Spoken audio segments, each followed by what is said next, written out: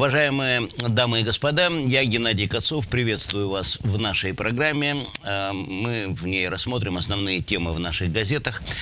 Как заявил командующий космическими силами США генерал ВВС Джон Реймонд, космос уже стал сферой боевых действий, такой же, как воздух, земля и море. Так как, я здесь процитирую, Россия и Китай разработали оружие, которое может нарушить работу американских спутников или даже уничтожить эти спутники с Земли или из космоса, или через киберпространство.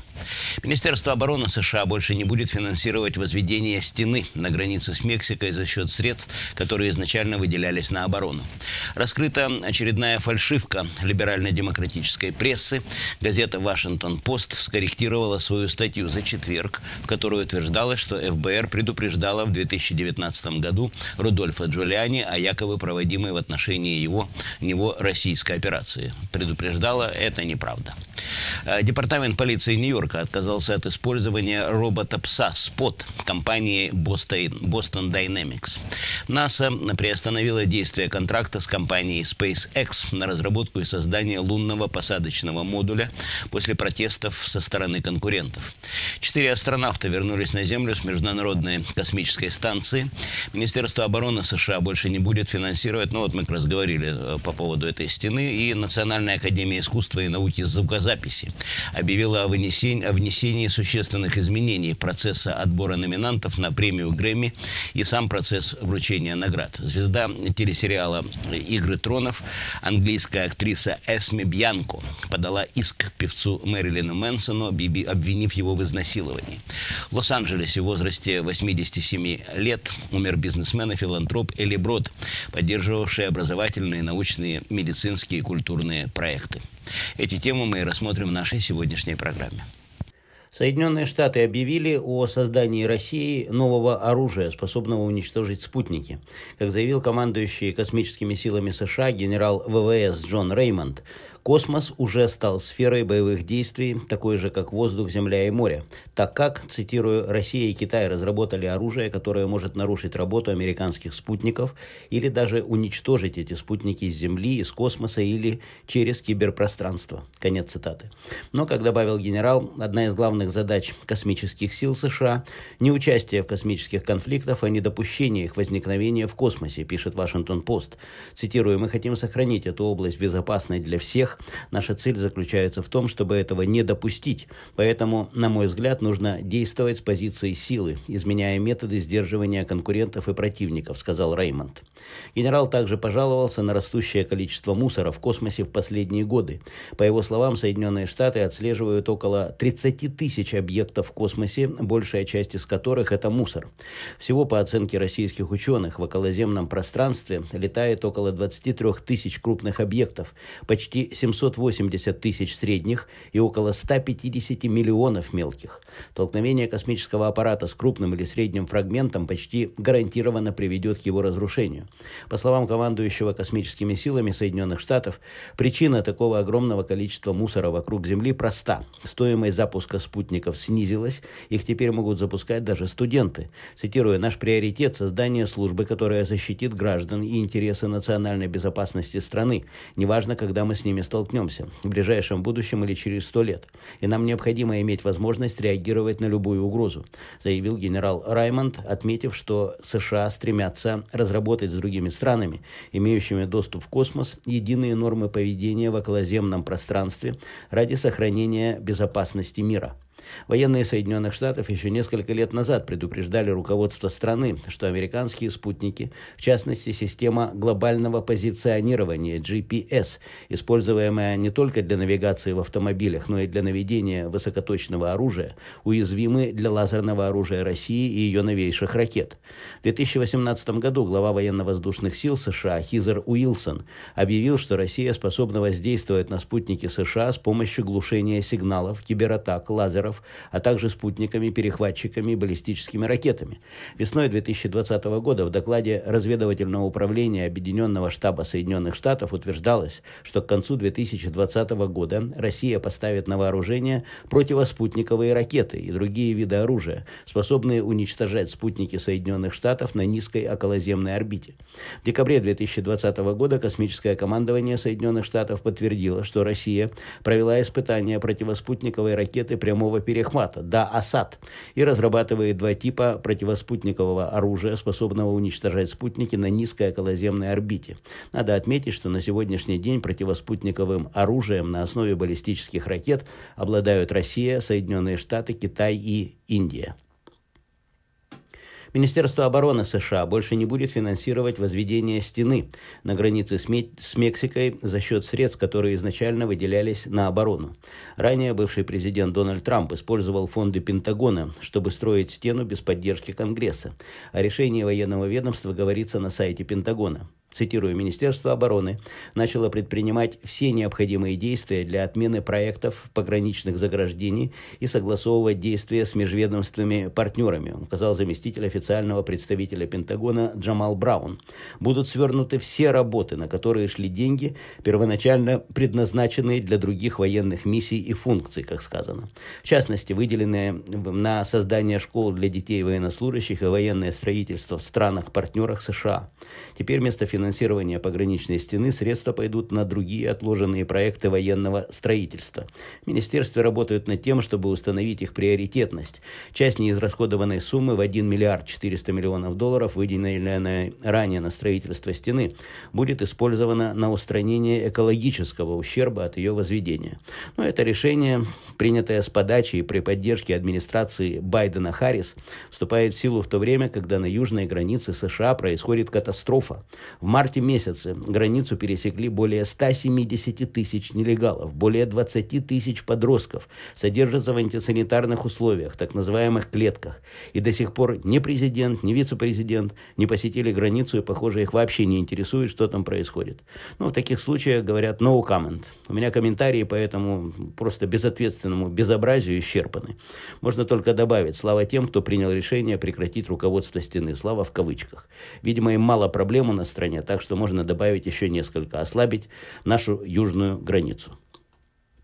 Газета «Вашингтон-Пост» корректировала свою статью за четверг, в которой утверждала, что Федеральное бюро расследований США предупреждало в 2019 году бывшего адвоката 45-го президента Трампа Рудольфа Джулиани о якобы проводимой в отношении него российской операции. Что значит скорректировала? Это значит, что статья в четверг была опубликована ложная, то, что называется как раз фальшивая пресса. Это «Вашингтон-Пост». Приписываемые России действия были направлены, по мнению издания, на вмешательство в президентские выборы США 2020 года. И в новой версии статьи, опубликованной в субботу, говорится о том, что правоохранители лишь планировали уведомить об этом бывшего адвоката Трампа. Не уведомили, а планировали уведомить. Чувствуете? Разница большая.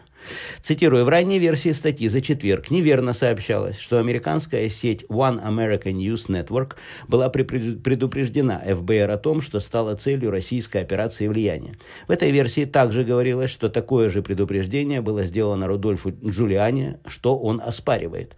В нынешней версии удалены утверждения о сделанных предупреждениях. Простенько отмечается в этом тексте. Дальше. Представители властей планировали уведомить Джулиани в рамках усилий ФБР по предупреждению членов Конгресса о том, что они, по крайней мере, одно консервативное СМИ.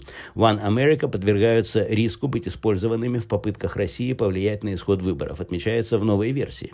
В декабре 2019-го Джулиани, напомню, отправился в Киев, где встретился с депутатом Верховной Рады Андреем Деркачем, которого США затем внесли в санкционный список, за вмешательство в выборы.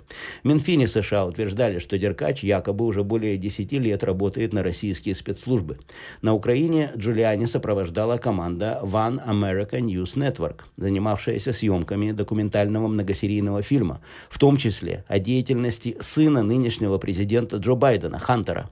Лента была призвана подорвать доверие к попыткам демократов демократов отстранить от должности Трампа и упрочить его шансы на переизбрание главой государства на выборах. Москва неоднократно на высоком уровне отвергала выводы Вашингтона о вмешательстве России в ход американских выборов и в 2016 и в 2020 годах. Доказательств, которые бы подтвердили точность таких замечаний, американские власти ни разу не предоставили. Ну а Джулиани в пятницу опроверг тот факт, что с ним разговаривали сотрудники ФБР о российской кампании по дезинформации.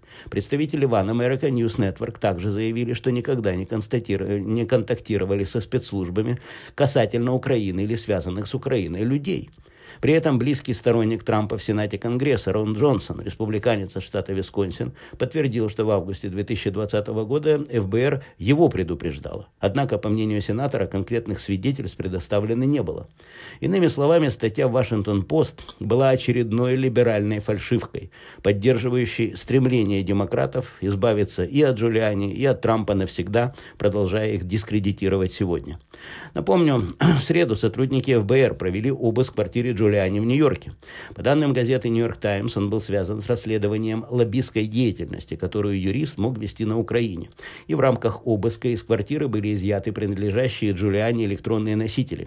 В 2019 году прокуратура Южного округа штата Нью-Йорк предъявила обвинение четырем американским предпринимателям, являвшимся партнерами Джулиани. Лев Парнас, Игорь Фруман, Андрей Кукушкин и Дэвид Корея якобы нарушили законы, которые запрещают привлекать иностранные средства для финансирования предвыборных кампаний в США. Ну, кроме того, они якобы выступали в роли подставных лиц в рамках проведения лоббистских кампаний. Парнаса и Фрумана подозревают в попытках добиться отставки Марии Йованович с должности американского посла в Киеве в интересах некоего украинского чиновника. Ну и Джулиани оказался в центре внимания СМИ после того, как в Вашингтоне в сентябре 2019 года начался крупный скандал из-за утверждений об оказании Трампом во время телефонного разговора давления на украинского президента Владимира Зеленского с целью побудить Киев помочь тогдашнему главе Вашингтонской администрации переизбраться на второй срок в 2020 году. Высосанный из пальца скандал, который стал, как вы помните, поводом для объявления второго импичмента, который не прошел Трампу. Высказали, высказывались предположения, что что Трамп при содействии Джулиани добивался от своего украинского коллеги расследования действий сына нынешнего президента, демократа Джо Байдена, в обмен за оказание Киеву финансовой и военной помощи.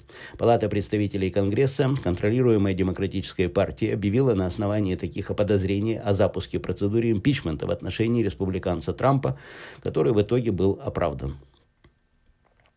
Департамент полиции Нью-Йорка отказался от использования робота-пса «Спот», компании Boston Dynamics, тестирование которого началось в августе прошлого года и должно было завершиться в августе 2021 года.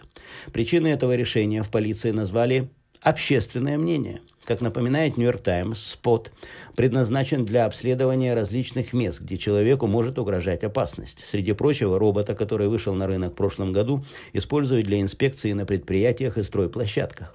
Правоохранительные органы также заинтересовались роботом, поскольку его применение в теории может спасти жизни полицейских.